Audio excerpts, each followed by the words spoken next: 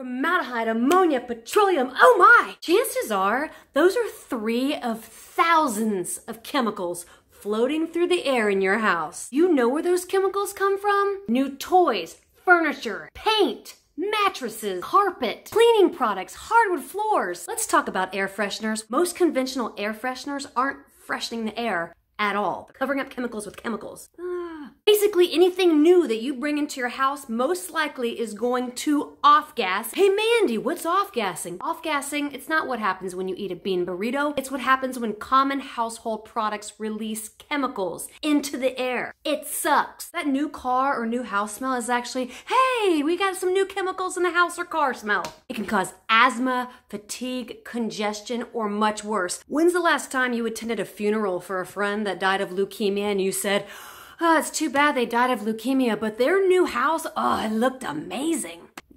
So how do you get these chemicals out of your house? One of the best ways you can do this is by opening your windows every single day. But some people can't do that. You might live in an environment where it's super toxic outside or it's pollen season or whatever. If you can't open your windows every day, there are lots of other things that you can do. Clean your damn house. And I mean clean your house with eco-friendly products. Some people will go clean their house and they're using products that make the air more toxic. Don't forget your drapes, bedding, pets. Dirty dog. Get an air purifier. Put it in your bedrooms, put it in rooms you spend the most time in, worth every penny. Change your air filter on a regular basis, or even better yet, get the ones that you can clean so you're not sending those to a landfill.